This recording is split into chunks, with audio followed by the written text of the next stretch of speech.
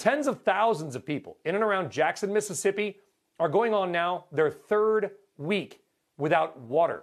That's right, no water for more than two weeks. So let's call some attention to this. Mississippi State Representative Ronnie Crudup Jr. He also owns a daycare center in Jackson, which had to close. We spoke by phone yesterday, sir. Uh, thank you very much for joining us. When we talked, I couldn't believe it because some people had pinged me on Twitter. They saw me in Texas, and I wanted to reach out. Is it true that there are still tens of thousands of people that are trying to flush their toilets with whatever might be left of melted snow?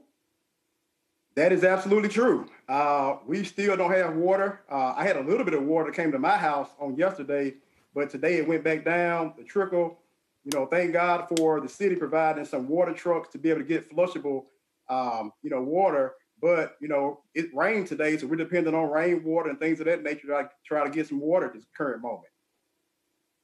So I want to be clear. We were just in Texas. We're talking about the power power grid. You had power but it was the weather that caused the problem. I think Texas probably stole the attention, which is why, thank you, sir, for coming on. Has there been any indication of when the water is going to return? You can't bathe, you can't cook, restaurants are closed, hotels are sold out. What's happening in Jackson on the ground right now? So right now it's kind of a you know every man for himself. Um, you know the city has stepped in.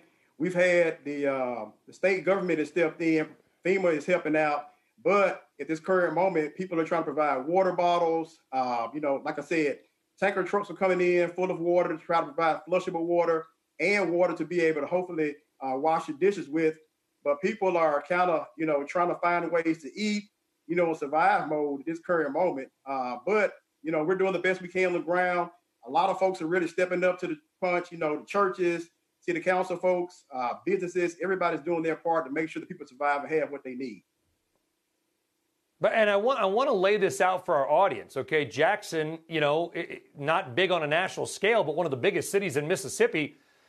You can't cook without water for the most part. You so you try to go out to eat, but a lot of the restaurants are closed because they also may not have water or they've got multi-hour waits. You want to go to a hotel, but the hotels are all booked up, or maybe you can't afford it because getting a hotel for two weeks is expensive. Yeah, it's that's a dire situation, Representative. Has there been any indication of when this might get resolved? Well, from what we heard from the mayor and the city engineer on yesterday, it may be, you know, toward the end of the week before it gets resolved. Uh, the problem is the date kind of keeps changing, and no disregard to them, but you know, this thing has totally just shut us down. Uh, we've had water outages before, boil water notices, but nothing of this magnitude.